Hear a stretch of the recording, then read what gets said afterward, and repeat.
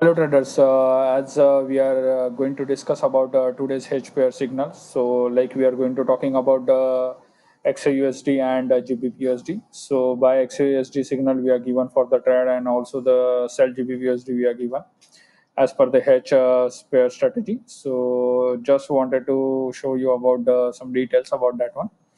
See if you are checking our GBPUSD and XAUUSD details. So precisely the levels we have mentioned and uh, you can see from the 1.2440 to 1.2470 we have mentioned and the TP also 1.235 is precisely done.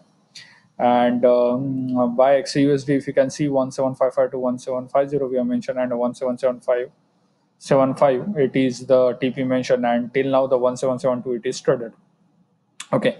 So if you can see this signal we are given at uh, 7 am GMT and uh, as per that one it is precisely traded from the levels. uh, so I just wanted to show you on a chart. Uh, first of all, we'll uh, check for the GBPUSD. It is uh, given nearly is traded from the 1.24100. It is uh, 1.24100. It is traded to 1.23100. So almost 100 pips profit given from this particular signal.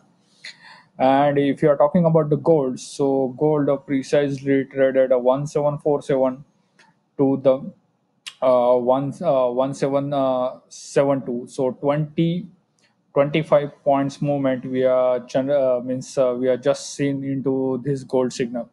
So definitely, if you are trading with the hedge pairs, definitely you can earn the good returns from the uh, forex market and. Uh, it is important if you are trading into the hedge pair then the 95% you you are having a chance to earn the profit only thanks a lot for watching this video. Good day